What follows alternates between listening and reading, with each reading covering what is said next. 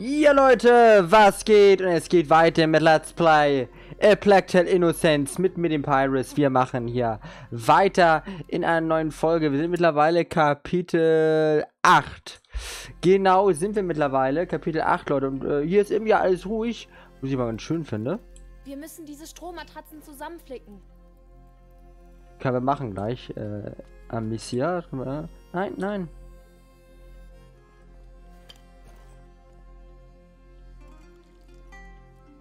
Äh, wow, jetzt habe ich kein, aber egal, jetzt habe ich kein Materialien, aber ich habe hinten Werkzeug. Äh, das ist mal ganz gut. Äh, da ein bisschen was. Äh, ja. Ja, ja, der liebe Hugo will was von uns. Oh, hier noch was. Wir müssen lesen? Ne, Stoff, okay. Wir sind hier alles. Oh Gott, gleich geht's ab, oder? Oder? Ach ja, die Dinge, die wir gefunden haben. Zumindest können wir sie so in diesem Chaos nicht verlieren.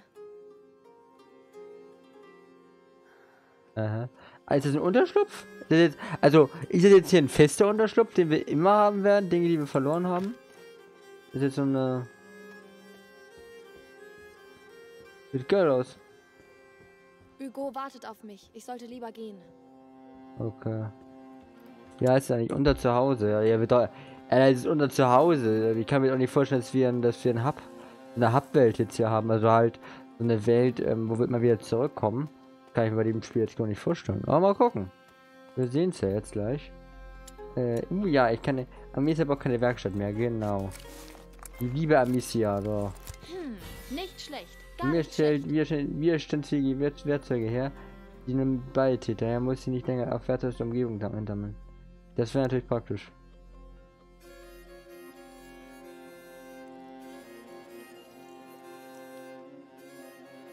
Ah, jetzt kann er zum I machen, das ist ja geil.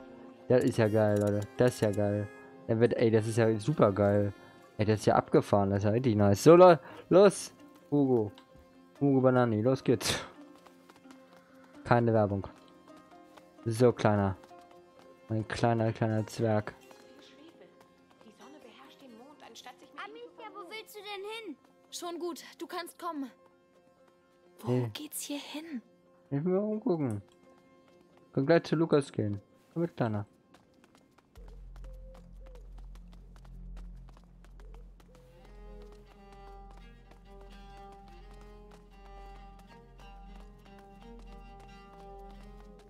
Oh, ein Grab. Wer liegt hier? Ich weiß es nicht.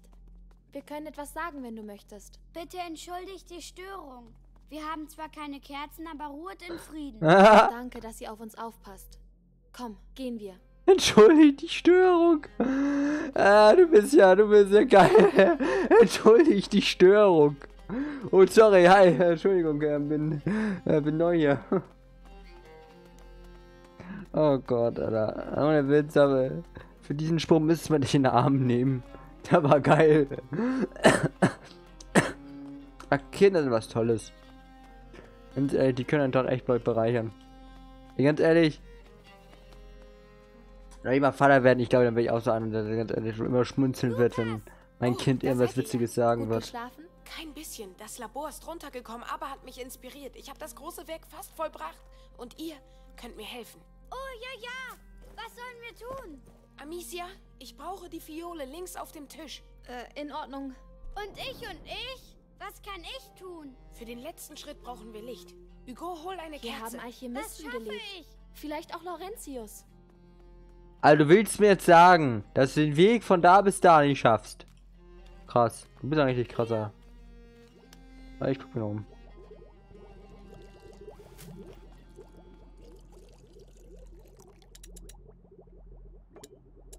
Wow. Was? 18? Seid ihr bescheuert?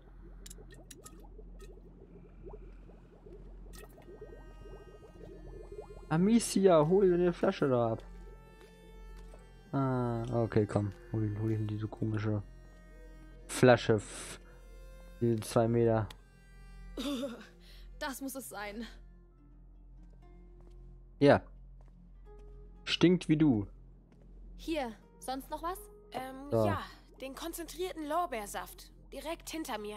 Ich hole ihn. Was ist ein großes Werk? Was zum Essen? Das ist ein Elixier, das deinen Pfad erleuchtet. Ein Leuchtfeuer für den Träger der Makula. Es ist mir heute Nacht eingefallen. Ja, er kann die natürlich auch nicht umdrehen. Weil. Warum eigentlich? Warum kannst du die nicht kurz umdrehen? Aber Igitt. Na dann. er wird wohl seine Gründe haben. Hier, hier, weil du dich ja nicht umdrehen kannst. Hier. Gut, dann jetzt die Engelsträne. Die die. Krönung der Alchemie. Das Elixier. Hugo. Wow, das große Werk. Ähm, das war eigentlich nicht geplant. Das macht nichts, Lukas. Vielleicht solltest du dich ausruhen, oder Hugo? Gut gemacht, Lukas. Du bist ein Zauberer. Amicia, komm. Ich komme. Folge Hugo Hugo aus dem Wall. Genau, er hätte wieder Hugo ausgesprochen. Ich sage immer Hugo, ne? Ja, ich spiel's mal Deutsch aus. Ich weiß, er wird ja Hugo, weil es ja auch von Franzosen, glaube ich, auch entwickelt wurde. Ja, die Runes ist ja auch französisch. Äh, seht es mir bitte nach. Mein, ich kann. Hast du eigentlich Melly gesehen? Nein. Ähm, vielleicht ist sie schon aufgebrochen. Oh nein, ich wollte mich doch verabschieden. Also, ähm, ich bin ganz schön den französischen Namen. Bitte seht es mir nach. Äh, also du, du, du Hugo und so, Dieses okay. Chateau muss schon seit Jahrhunderten leer stehen. Also wie man einzelne Namen ausspricht. Wow. Nice. Komm, Amicia, mach mit. Ah! Na, habt ihr beiden Spaß? Die Inquisition sicher auch. Melly, wir dachten, du wärst weg. Komm.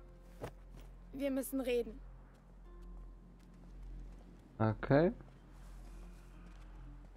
Ja, was ist denn? Dieses Chateau ist eine Ruine. Ah, Das ist genau, was ihr braucht. Wer auch immer es gebaut hat, wollte seine verdammte Ruhe haben. Macht keinen Ärger und alles wird gut. also gehst du Arthur holen? Wenn ich helfen kann. Arthur ist mein Problem. Du hast es ja gehört. Diese Hunde von der Inquisition haben ihn in die Bastion gebracht. Ich weiß, wo ich suchen muss. Ich finde ihn. Sieh mal, Amicia. Und wegen Hugo. Ich weiß, es ist nicht leicht, aber glaub mir, es ist es wert. Er wird dich retten. Letzten Endes retten sie uns immer. Selbst wenn man Brüdern ab und zu den Hals umdrehen will. Die Symbole, Amicia. Das glaube ich dir. Geh nicht ohne Lebewohl zu sagen, ja? Als ob das meine Art wäre. Amicia, komm bitte. Ja, Hugo. Was hast du gefunden?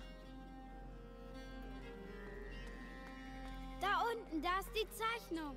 Welche Zeichnung? Die im Speisesaal. Ich zeig sie dir. Komm mit. Ich folge dir.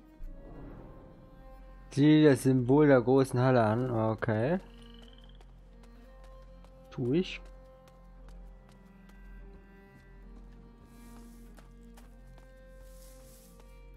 Wo Das sind wir hin? dieselben Symbole. Ja. Vielleicht das Wappen der Alchemisten?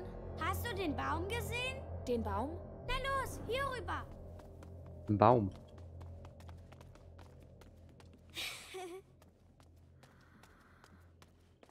Ist ein richtig kleiner Abenteurer. Komm zurück. Wo gehst du hin? Oh, sind das deine neuen Freunde?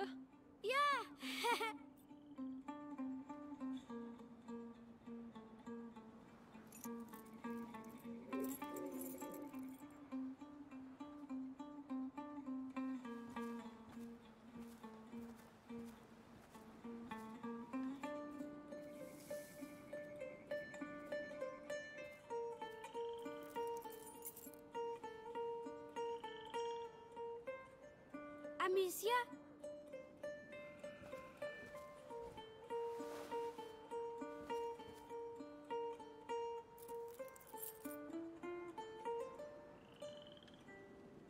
Tut mir leid, dass ich krank bin.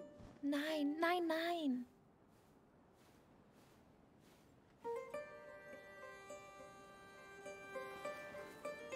Hör ganz. zu. Wir werden ein Heilmittel für dich finden. Und jetzt haben wir doch auch Lukas und Melly. Lukas, sieh mal die Schmetterlinge. Sieht aus, als hätte hier jemand Spaß.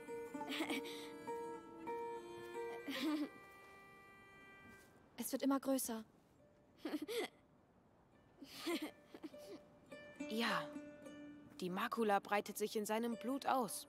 Die Bücher besagen, dass es mehrere Schwellen gibt und der Träger bei jeder Schwelle Gefahr läuft, zu sterben. Wie viel Zeit haben wir? Sehr wenig. Hugo hat die erste Schwelle fast erreicht. Mein Meister und deine Mutter wollten den Prozess verlangsamen. Aber wie? Was haben Sie getan? Sie haben an einem sehr komplexen Elixier gearbeitet, um ihm Zeit zu verschaffen. Und kannst du es zubereiten? mir fehlt ihr Wissen. Doch ihre Arbeit basierte auf einem verbotenen Buch, dem Sanguinis Itinera. Mit dem Buch? Könntest Leider du also... nicht. Das Sanguinis Itinera ist gefährlich. Es ist mit anderen Werken im Keller der Universität eingeschlossen. Dorthin zu gelangen ist fast unmöglich, wenn nicht Selbstmord. Gewöhnlich schon. Aber wenn wir uns das Chaos zunutze machen, hätten wir eine Chance. Ich weiß, wo das ist. In der Stadt in der Nähe vom Gefängnis meines Bruders. Wenn du das riskieren willst, helfe ich dir reinzukommen. Danke. Gut, ich packe meine Sachen. Komm zu mir nach drin, wenn du gehen In willst. diesem Fall braucht ihr Ausrüstung. Ich bereite sie vor. Hugo, es tut mir leid. Ich muss weggehen. Keine Sorge, ich bleibe bei Lukas. Gut. Ich bin bald zurück. Alter, es war ja auch vorher nicht so schlimm, ne? Ähm, äh, Melly in der großen Halle, um mit ihr aufzubrechen. Okay, ist das das Kapitel gewesen oder was? Weiß nicht, ob unser, weil hier das Kapitel heißt ja nur unser Zuhause und das schätze ich mal, wird nur das hier implizieren, ne? Oder? Ne, brauche ich nicht mehr. Ah, muss ich mich doch dran gewöhnen, ne? Dass man das nicht mehr braucht. Über die ganzen Folgen muss ich das jetzt immer tun. Der Tiegel eines Alchemisten. Da wird Lukas sich freuen.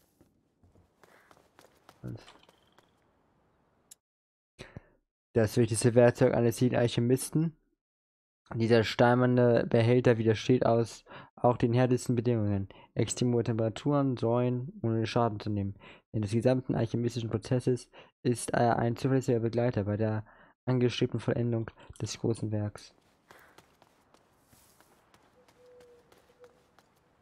Äh, wo sind die hin? Hugo? Macy? Äh, Macy ist schon. Äh, Melly? Komm ich auf Macy.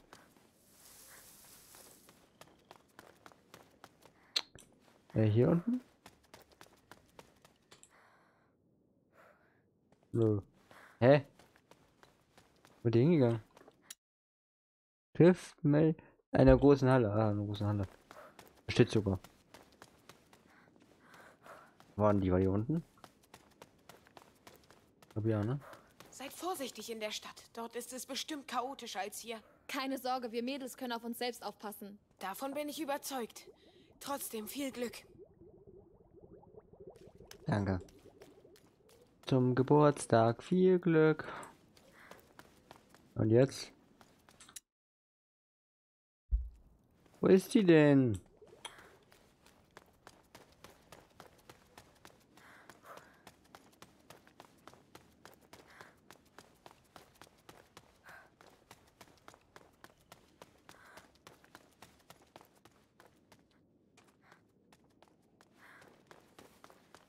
Ähm.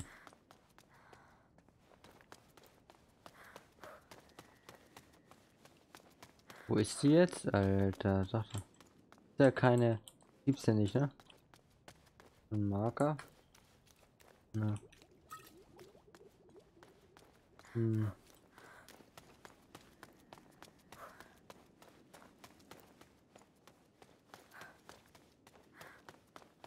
Ah, da ist sie. Endlich. Na, dann wollen wir mal. Hört zu, eine Sache noch. Laurentius hat einmal gesagt, der Weg zum Buch sei übersät mit Rosen. Haltet also die Augen offen. Rosen. In Ordnung, werden wir.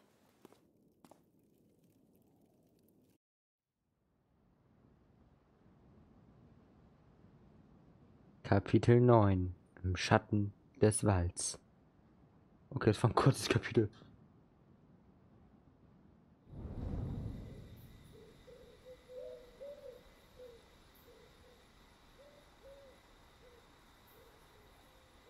Erste Regel zum Überleben: Tritt ihn zwischen die Beine. Wäre der Kopf nicht besser? Du bist so ein Weichei. Sch, da ist die Stadtmauer. Okay. Folge Melly. Okay. Was sind das für Leute auf der Brücke? Das sind die Einwohner. Sie werden evakuiert. Lass mich raten. Der Biss wütet hier? Genau. Und wo der Biss wütet, ist wer nicht weit? Die Inquisition. Schlaues Mädchen. Danke. Nein, Hast du ihn gekannt? ein Dieb. Wir haben zusammengearbeitet. Er hatte Talent. Das ist also die Strafe fürs Stehlen. Der Tod. Ich will nicht, dass sie Arthur so einen Stock verpassen. Los, gehen wir. Dein Einsatz. Ich knacke das Schloss und dann kümmere ich mich um Arthur. In Ordnung, aber wo genau ist die Universität? Das große Gebäude am anderen Ende der Stadt. Nicht zu übersehen. Glaubst du, dass wir uns wiedersehen? Hoffentlich. Du schuldest mir was. Scheiße. Das heißt auch, dass du nicht sterben darfst. Ich tue, was ich kann. Na bitte, mach schon. Ab mit dir.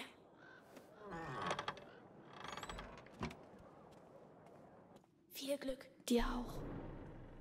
Achso. Okay. Sie wissen, dass sie sterben, wenn sie hier bleiben. Aber glaubst du, dass sie aus eigenen Stücken gehen? Los, beweg dich. Wir müssen die letzten von ihnen rausholen. Keine Sorge, wir haben es fast geschafft. Die Stadt gehört uns. Und dann können wir das Ganze etwas beschleunigen. Diese Mistkerle. Was haben die nur vor? Ah, okay, jetzt habe ich genug.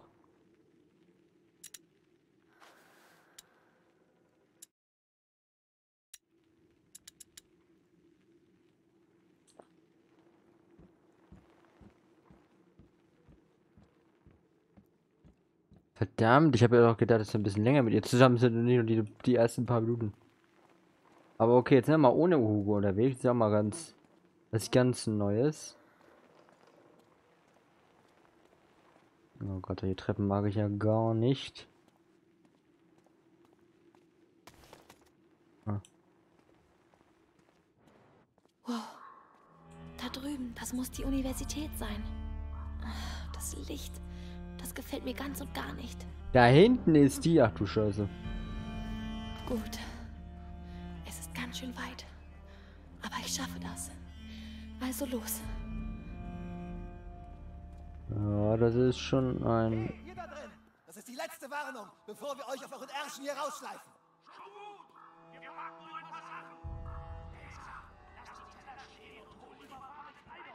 Verdammte Bourgeoisie.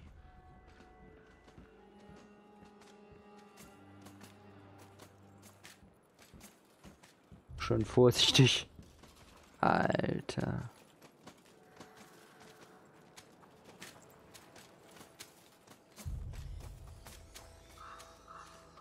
Vorsicht. Letzter Aufruf. Auf Befehl von Großinquisitor Vitalis wird das Kriegsrecht ausgerufen. Die Stadt untersteht jetzt der Inquisition. Wer zu bleiben gedenkt, wird verhaftet und hingerichtet. Kriegsrecht? Ich kann's nicht glauben. Warum jetzt?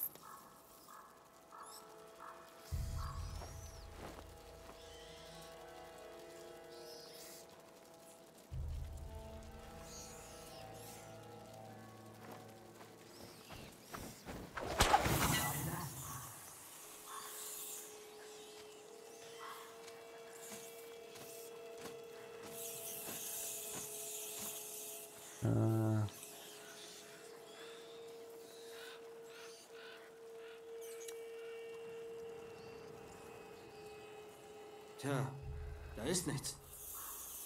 da siehst du.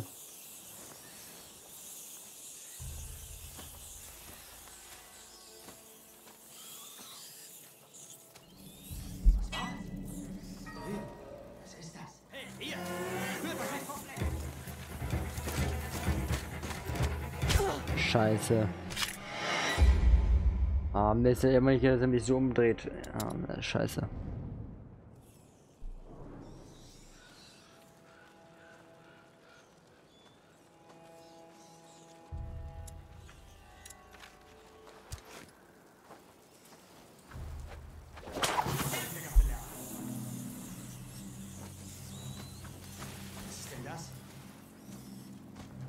Können wir den ja irgendwie ausschalten?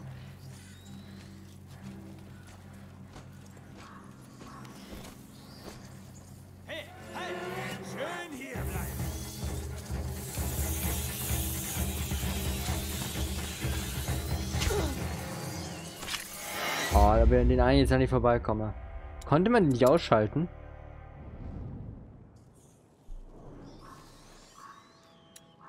Warte mal.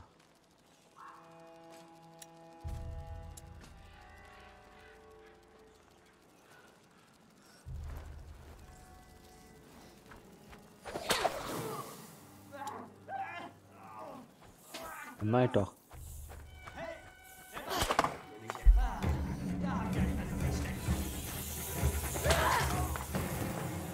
Jetzt haben wir es. Sehr gut.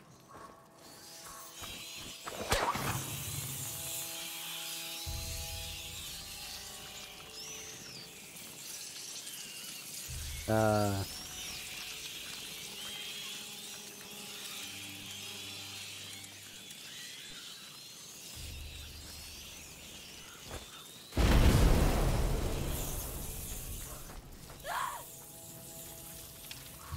Oh, wie Glück gehabt. Ah. Sehr gut. Oh man, hier ich fast eben noch mal noch mal machen müssen. Oh mein Gott.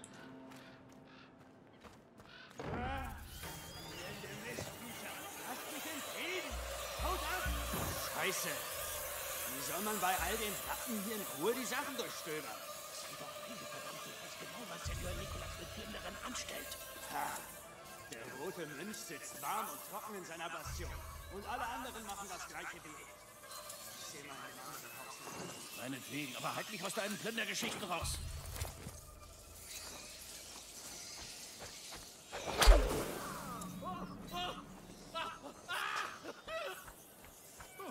Wo kann Mir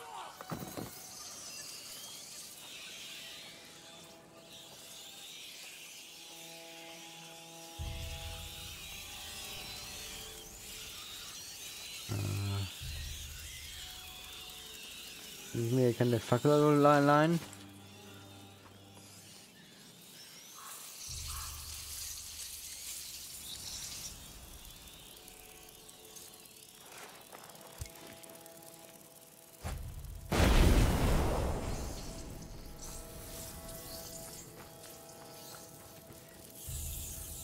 Ja, es ist immer, es ist immer sehr knapp. So, aber lang, lang das noch gut geht, ist ja alles in bester Ordnung. Nur es ist halt auch immer sehr, sehr knapp, ne?